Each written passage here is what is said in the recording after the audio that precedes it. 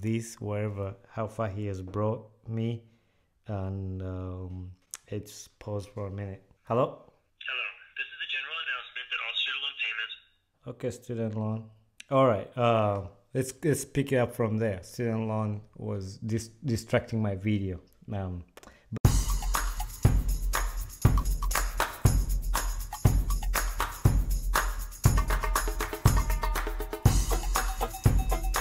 Mujevale, Mujevale, Mujevale. My name is Bonny Kibuuka, and welcome to another episode of the Ugandan Boy Talk Show. Welcome once again to the Ugandan Boy Talk Show uh, with your boy Bonny Kibuuka. Uh, welcome for another episode, and uh, today is a special day that I I get to um, celebrate my one year anniversary. Woo, woo, woo, woo, woo, woo. Uh, so I'm so excited to record this episode uh, to celebrate my uh, one year anniversary uh, podcasting and recording this podcast for the Ugandan Boy Talk Show. And this podcast started as uh, something out of uh, the pandemic, you know. Um, so I'm, I'm so glad that I'm, I'm still going with this. So I'm so excited. And today, today's episode is dedicated for that, uh, just celebrating uh, the one year anniversary. And we're going to share a little bit about the background, how I got it started, and how we've been doing, and where we are at this point. Um, but before I go into that, I'm gonna apologize. First of all, I think my office is empty. You notice everything is gone. Uh, I'm in the middle of moving. Yeah, we're moving uh, out of this place, and we will move into another place. So that's what's happening. Uh, the other thing is. I don't know how my sound is gonna turn out because actually the room sounds really um, empty because I took most of the stuff out, so the noise is really loud. So if my sound is not good on this time, you're gonna have to forgive me. Uh, but uh, on the 12th of November, which is uh, Friday, yesterday, we celebrated one year anniversary and i want to thank each one of you that has been supportive has been part of this the ugandan boy talk show. Uh, you don't know how much like this it brings me joy. And i've multiple times i've mentioned on the podcast that this is a therapy for me. You know we all go through different things in life and we find different ways of getting happiness and keeping ourselves happy and we do different different things to to motivate us. And for me, it's the podcast. Like where we moved at right now, we don't really have a lot of people. Uh, right now, I'm just recording my podcast facing into the my window, the bigger window, and all I have there is trees. So every time I get to sit on this podcast to record an episode, to record a podcast with, especially with the guests that I've been hosting, you know, uh, it's been a blessing. It's been a blessing because I feel like I'm talking to somebody else, you know, like to the friends, you know, like seeing somebody on the screen of my computer has helped me like a therapy to just have something going on. And um, yeah, that's that's one thing that I, I really liked to do this and learning more about other people. You know, we all have friends. We have friends in lives, but you don't even know what uh, they're going through or what their life was or where they've been to get to where they are. And that's one thing that I've learned through hosting these people. And that's the reason why I wanted to bring these guests. Um, more so to that is to share their stories. Some of these people have gone through different things that us, like us young people, are, are going through. Like when I hosted Pastor Bugembe, and later on, I'm gonna sh- share some of the highlights from the episodes of the guests that I've brought to just kind of sum up um, our anniversary to just hear some of these uh, highlights of the episode. So, like when I hosted Pastor Bugembe, he was here and he shared his his life story, like what he has been through. And those are some of the things that I want other people to listen to and they feel motivated. So that's one of the impacts of the reasons why I started to do this uh, podcast and i'm so excited that i've been sticking to it uh, all year. And uh, i know it's been like two weeks since i released the new episode. My last episode was with nakakande uh, no my last episode was with um, sharon chiyimba promise who is a model in uganda. And uh, she was sharing about her journey. And she was somebody recommended by one of the guests that I hosted on the podcast. So we were privileged to to host her, one of the youngest models in Uganda, and she was on here to share her story.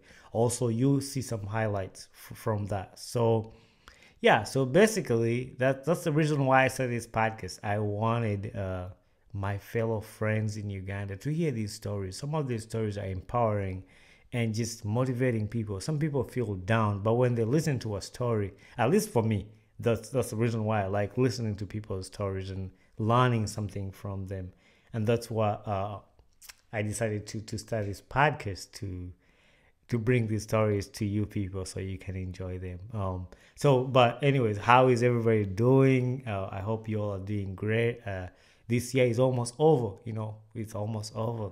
Uh, next thing you're gonna know, we're in December, and then January comes, 2022. You all ready for that? Anyway, yeah. So 2022, uh, we'll have a lot of uh, stuff coming on.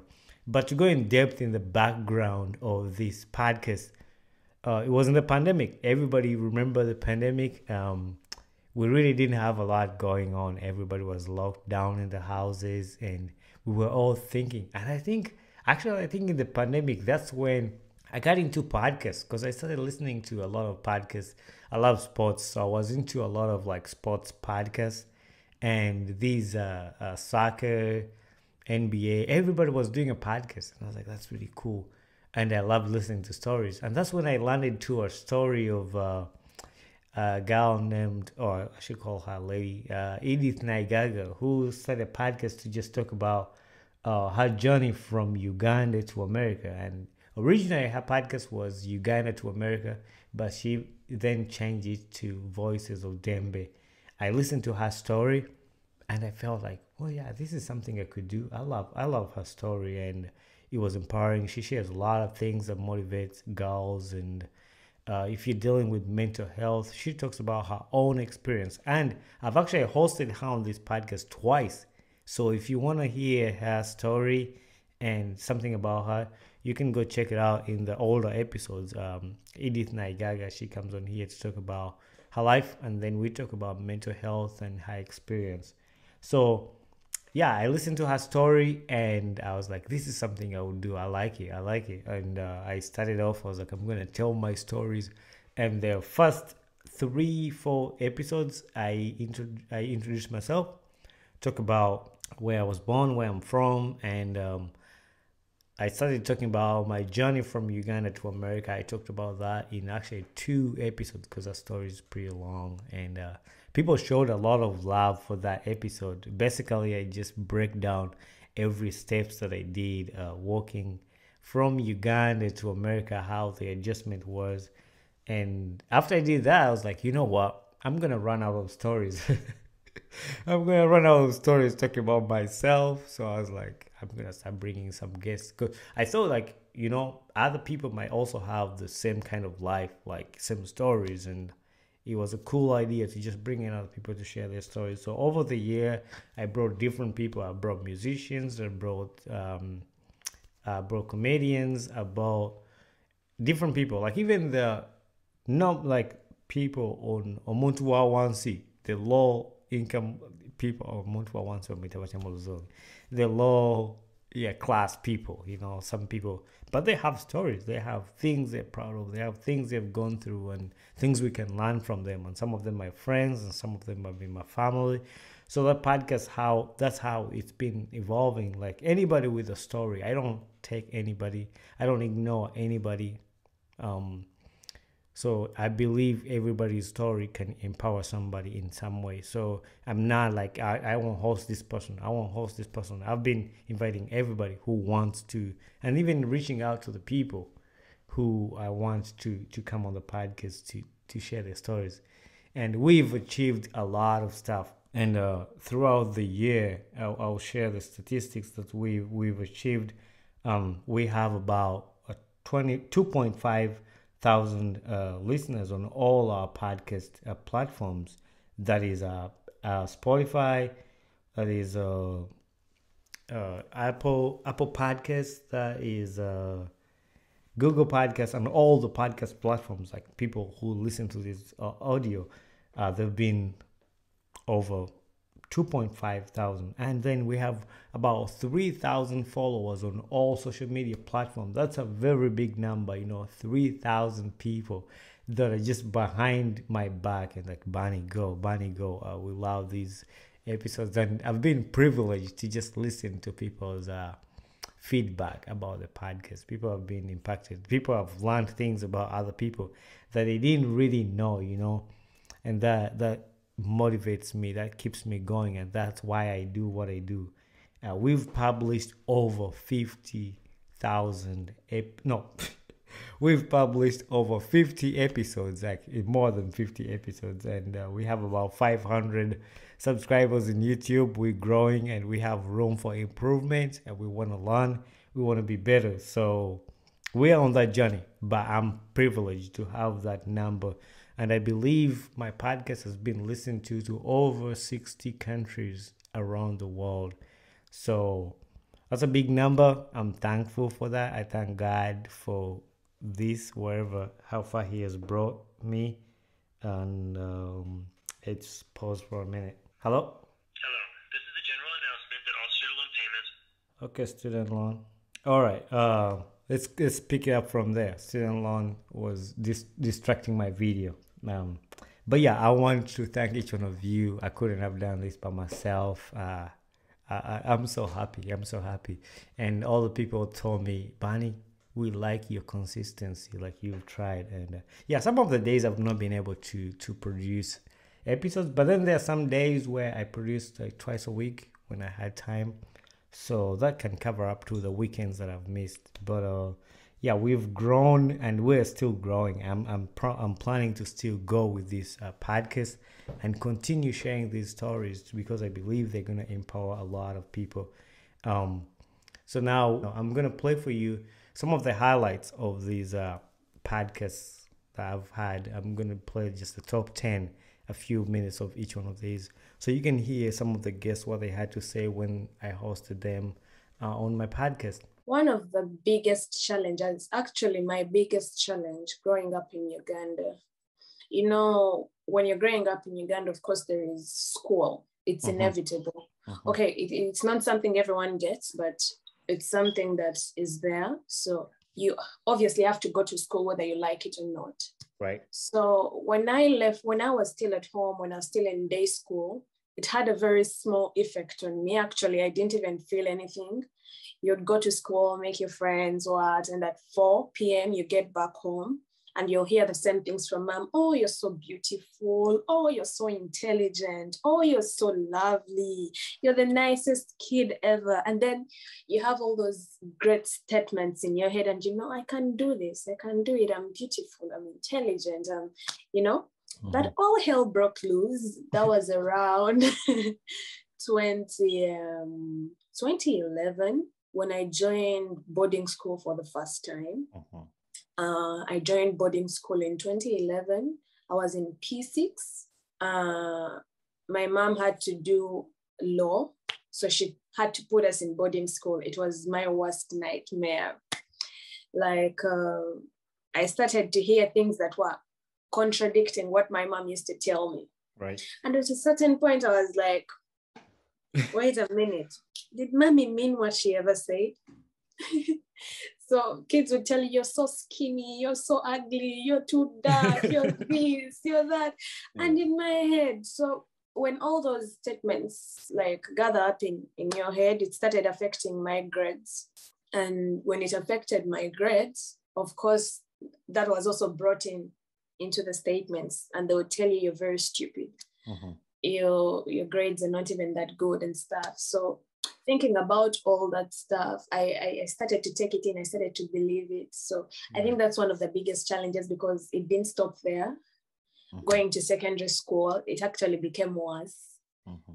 i had to leave a school the school i went to for form one. It was too much. There was a lot of bullying. There was a lot of body shaming to a point that I would come to class and my name has been written on the board as the ugliest kid in Form 1. And I lost it. I had to leave the school. So I think that's my biggest challenge growing up in Uganda. I want to say this to especially the girls in Uganda. Please try as much as you can to stay in school. there is the saying, I'm, going to say it in Luganda, nti uh, obutasoma buluma okuze. This thing is true. Once you once you mature and you grow up, you realize that it's true. So if you have a chance to go to school, if your parents can still afford to take you through school, please, please get those papers. Go and study. Don't go around with boys. The boys they will they will come chasing you later on when you have your degrees and you know PhDs and all. And listen, you will. I'm not going to say you won't need them, but at least you will have secured your education, right? So education first, then everything else follows. That's it. Nice mic drop. yeah. Boom. What has been your life lesson? Like, what's something that I in life that you've learned? Just one. Yeah, you can give me two. Maybe I always have one like a season for like a season, but it keeps changing. Okay. yeah, I think right now I would say you know no point to prove. okay. I would say stay out of competition and comparison. And, uh, you know, uh, comparison is the thief of true joy. You know, I, I got a nice phone here, but uh, it was nice until Jocelyn came with her phone.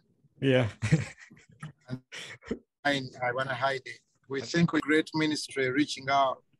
And then somebody says, Have you heard about the other church and the other pastor? Those guys have more land, they have more more followers, they have more uh, the pastor is and and before you know it, the true joy you had, the testimony is dying and withering off simply because you are starting to compare the worship house with another church. Mhm. So comparison Yeah. is the thief of true joy. So I'm learning to stay out of competition. I, competition. I wrote a song about it. Who cares? Who cares? Yeah. Obanga tunazaala, who cares? Ba- Obanga tunafumbira like eh, eno competition yeko kadezi oli muto. You know, like uh, you know, That's- people want to keep comparing. what are some of the hardships that you went through living in a slum? It's hard. Like you hear the word slum. Uh, when it rains, Mhm. water floods in the houses. Yeah. Means when you're sleeping, you have to wake up and collect water from the house so you can get a place where you can sleep. Mhm. Uh, my mother, she used to mop offices in town. Each, each office she mopped, she was given 1,000 Ugandan shillings. Hmm. She collected that money and took me to school. Her dream was to see me graduate, which came came to pass. I must say, like, there is always an advantage, you know, Yeah. when you're here than someone who's back home. So the I think what matters most is what you use with that advantage. Um, I'm not. My family's not the only one who's uh, stick to silent and they're going abroad. Well, I know a lot of people who are in um, in the United States, some are in Canada, Mhm. a lot of people. And I must say, I'm not really impressed with everyone what they're doing with their lives. Right. Although I'm, I don't care. Everyone has what they do with their lives. But I'm still not impressed because from from my experience, what we go through down there or what we went through, someone would have really had the knowledge to try and do something Better. different with their lives Right. um, trying to see how they can help people back home instead of just uh, feeling like you've reached heaven and you just want to Mhm. like boast up and have all the swag you want. Swag can always wait, but find Yeah. something to do. I came to the US October 1996 Mhm. and I was 15 at the time. My mom put me in, in a public school and it was it was tough. It was you know it was a big transition like just you know coming you know just being an African kid, you know, with an accent, you know, new environment, not knowing anyone the, the jokes were always on me because you know the way I used to dress, Mhm. you know, and I got like it was tough. It was tough, you know, having like because for the first time in my life, actually like other kids that were actually bullying me. I remember sitting one day in my hostel room, in my small hostel room, and I made a decision that the only way to help someone else like me is to it's to come out, is to first accept my status and never be afraid. And I shouldn't really continue hiding anymore because even my friends at campus they didn't know about my status. Mhm. So you get a balloon, you blow it up, then you cover it with a cavera. Then you make your own bow. And we used to call them tangos. Tango. Yeah. Yeah, to Speaking have of that, that- tango. Speaking of that, I have Yeah.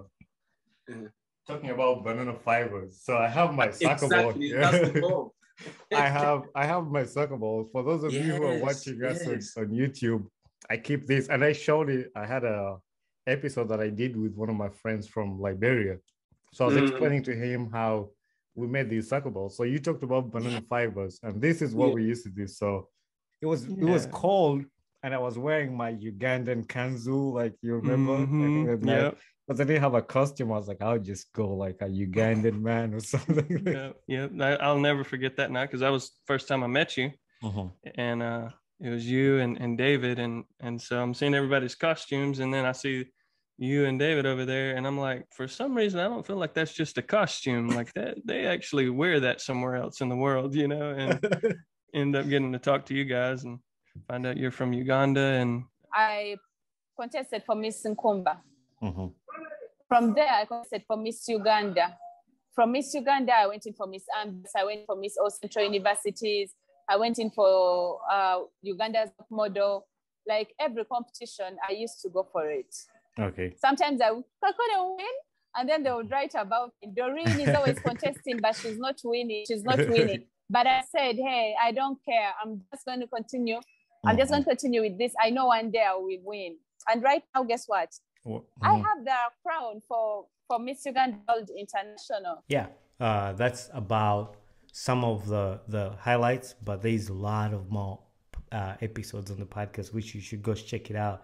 Check them out, all of them. And listen, there's a lot of information. This is just a an a highlight of lots of things that we have. Um, so continue supporting us and continue showing us love. And I'm gonna bring more guests. Uh, right now, we're working something. We're working on something with uh, Martha Mokisa. Uh, mo- those of you who know the song Sango, Kangamao Sango. Yeah, Martha Mokisa she'll be on the show soon. Um, I think Justin Nabosa, who was recommended by Pastor Wilson Bugembe, and then we're going to have uh, Joram who was recommended by uh, Miss Uganda.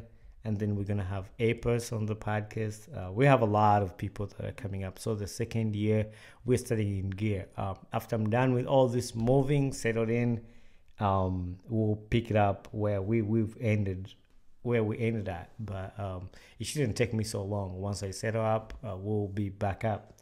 So I want to thank everybody tuning in, listening, and supporting. And uh, my ultimate goal is just keep going. That's my goal. Just keep going. Just keep doing what I'm doing, and uh, bringing more people. Keep the stories going and impacting other people. So here we are for year two. So I want to thank each one of you uh, for supporting me, for being on my back. Continue supporting me. Continue listening to this podcast, and don't forget to leave a feedback on this podcast. Um, you can go on Apple Podcasts and give us a five star review because this is how these podcasts grow by subscribing and by leaving feedback. So don't forget to do that for me and continue supporting me, promoting me.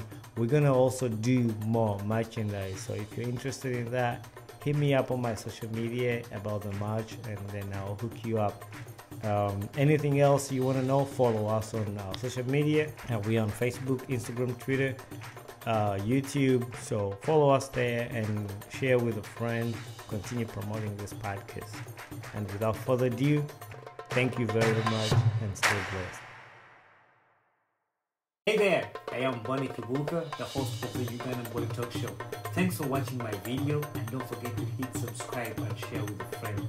Tune in every Saturday at 9 a.m. Eastern Time for a new episode of my podcast. And for more information about this podcast, follow me on my Instagram page, talk underscore show underscore 256.